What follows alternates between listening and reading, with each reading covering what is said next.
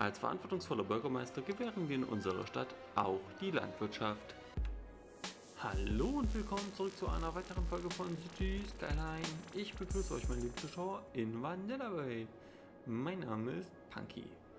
Und heute werden wir noch den Bedarf ein bisschen ja, versuchen zu regeln, zu decken, dass entsprechend auch ähm, ja, unsere Stadt wachsen und wachsen kann.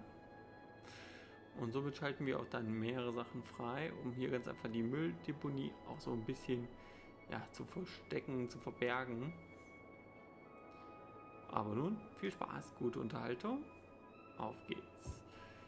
So. Hier werden wir auf jeden Fall entsprechend das Ganze so platzieren.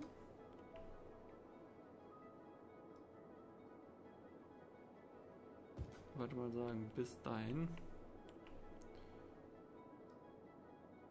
Hier machen wir das mal ein bisschen großzügiger. So, wie sieht es denn aus?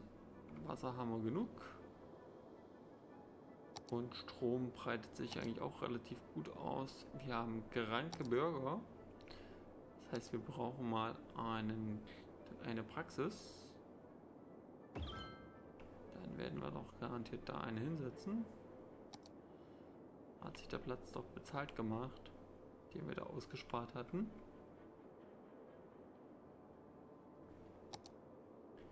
So, wie geht es weiter?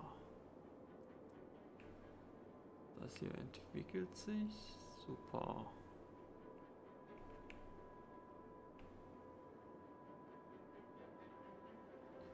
Weiterer Bedarf. Oha, das Licht geht aus. Und das liegt daran, weil uns schon wieder der Strom ausgeht. Demzufolge müssen wir uns nochmal um eine weitere um ein weiteres Windrad bemühen.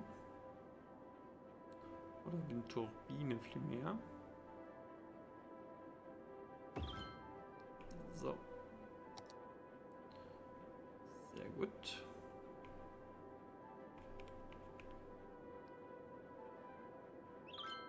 Jetzt ist der Bedarf auch wieder geregelt frei. Passt. Und jetzt werden wir hier weitere Straßen bauen.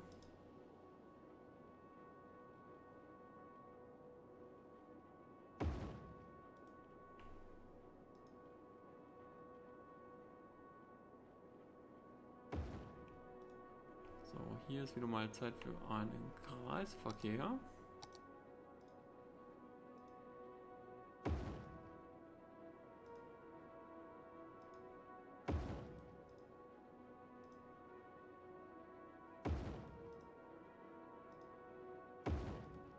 So. Super.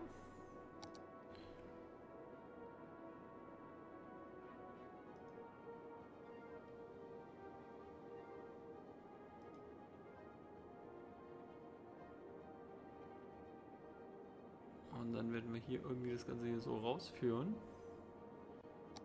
Haben wir denn schon so doppelte Straßen?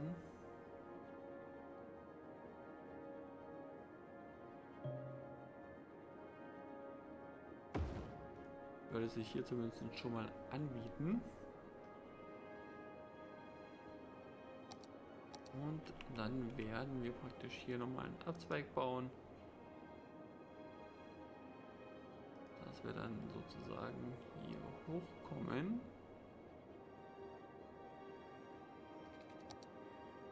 Und ein würdiges Dorf ist erreicht. Super. Das geht jetzt ja wie das Brötchen backen. Freut mich. So, setzen wir hier mal noch am weiteren Standort. So, hier muss ich jetzt aufpassen, denn hier sollte es eigentlich noch mal weitergehen. Hm, werde ich das Ganze untertunneln? Oder werden wir das dann ganz anders machen?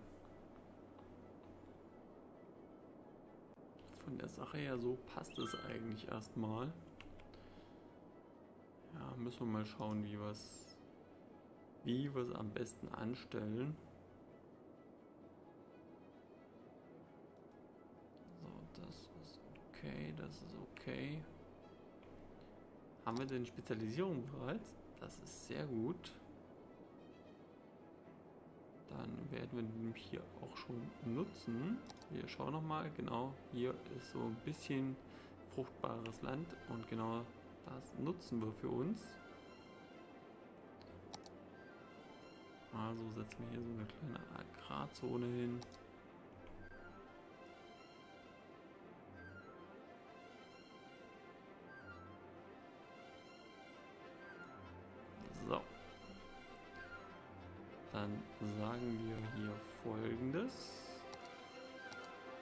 Hierbei handelt es sich um landwirtschaftliche Fläche. Und dann können hier auch bereits die ersten Gebiete entstehen. Erstmal ganz klar. Brauchen wir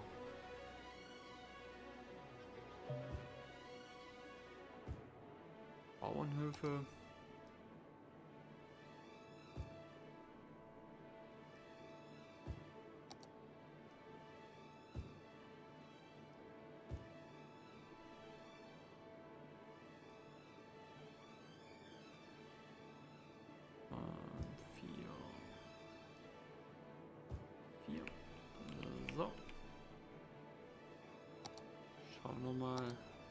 Das funktioniert.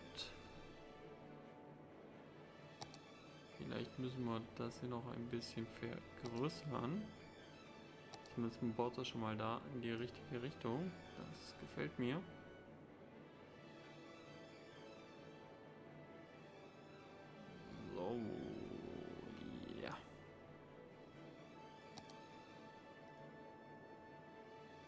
Geschnittenes Obst wird hier gerade gespaut.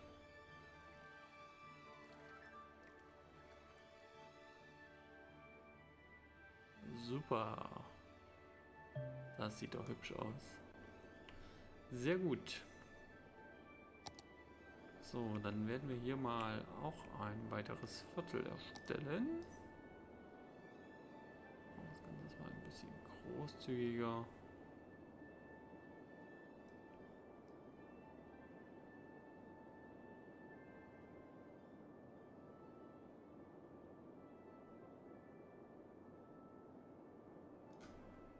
Halt, das war zu großzügig.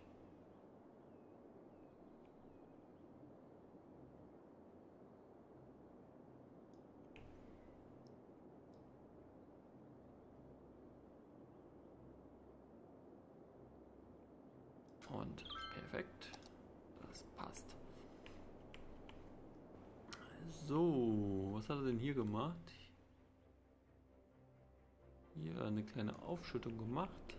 Das ist aber soweit okay. Dann wird es vielleicht mal Zeit für ein bisschen Bildung.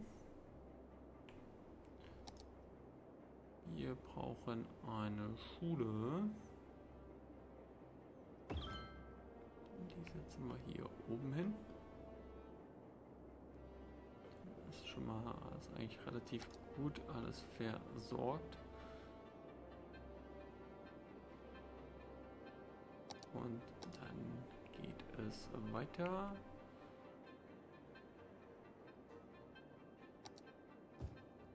Hier kommt noch was hin. Hier ist kaum Platz.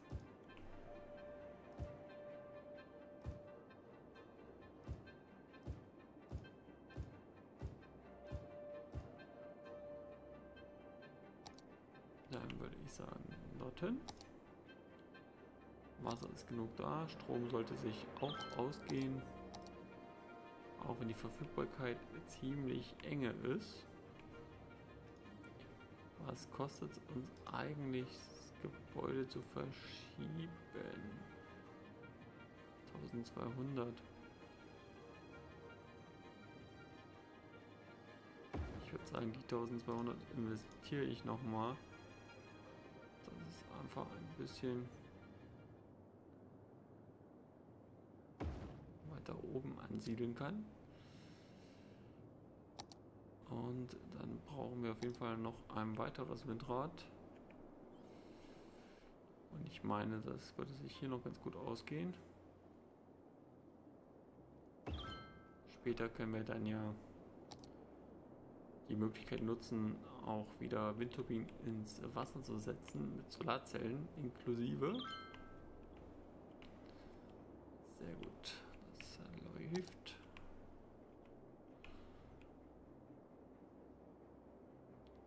So, jetzt überlege ich mal, wie es jetzt hier weiter. Hier würde ich sagen, gehen wir erstmal bis hier hoch. Okay, das will er nicht. Warum will er das nicht? Dann machen wir es so.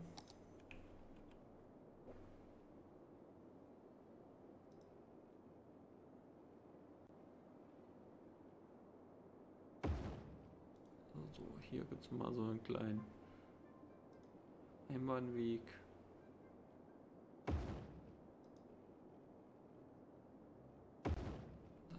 hoch. Dran.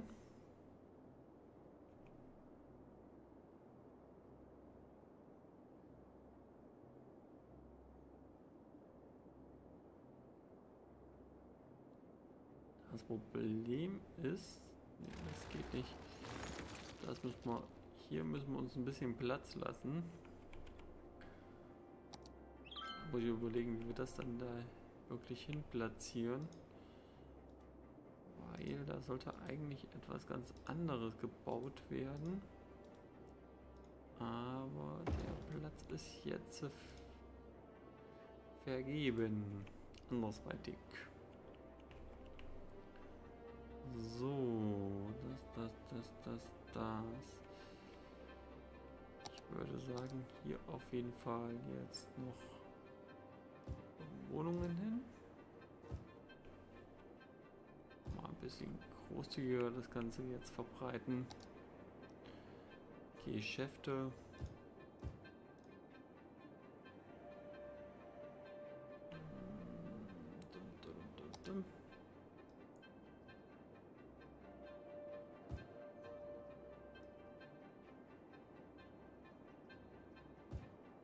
Dahin.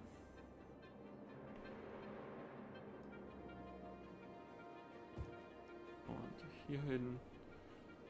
Und dann passt das. Sehr schön. Hier hinten könnten wir dann eigentlich dann der nächsten Industrie beginnen. Hm, hier ist ja auch nochmal ein schöner Platz für Landwirtschaft. Den werden wir auf jeden Fall uns auch nutzen. Hier würde ich allerdings dann als nächstes nochmal ein Industriegebiet planen.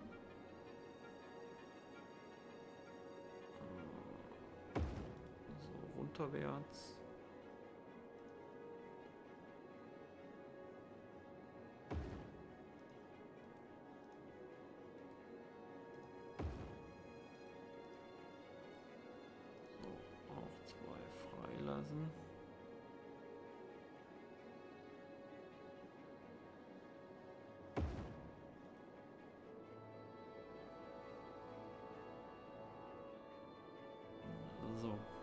Das passt. Einwandfrei.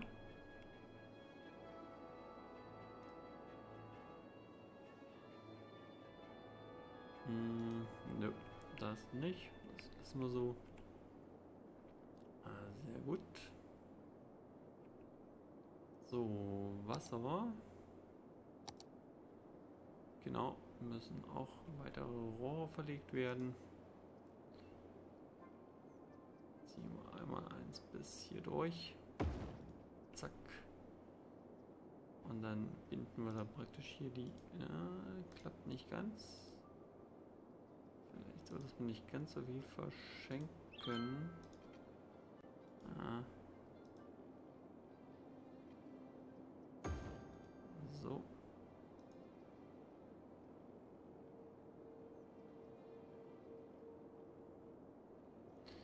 Unser Geld wird so langsam knapp.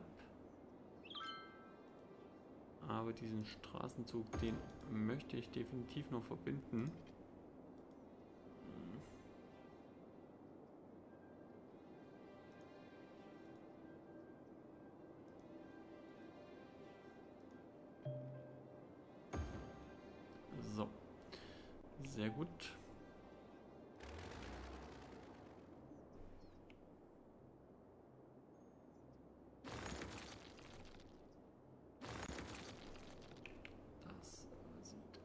Alles ganz gut aus. Und wir sind in der 15. Minute. Das heißt, wir werden langsam aber sicher in den Feierabend kommen. Aber nicht ohne die winzige Kleinstadt zu erreichen. 1400 Einwohner haben wir jetzt. Das ist doch schon mal ein, ja, ein schönes Ende. Noch ein Polizeirevier, da die Kriminalität gerade etwas höher ist. Und dann würde ich sagen, wenn es euch bis hierhin gefallen hat, dann kann es sich nur lohnen, dran zu bleiben. Und ich würde mich einfach freuen, wenn ihr das auch tut. Falls ihr Ideen habt, was wir so in unserer neuen Stadt Vanilla Bay bauen können oder machen sollten, dann immer raus damit. Wenn ihr die Folge kommentieren wollt, nutzt einfach die Kommentarfunktion unterhalb des Videos. Und ja, ich würde mich freuen, wenn ihr dran bleibt. In diesem Sinne wünsche ich euch alles Liebe, alles Gute. Euer Punky von Punky Let's Talk. Bye bye.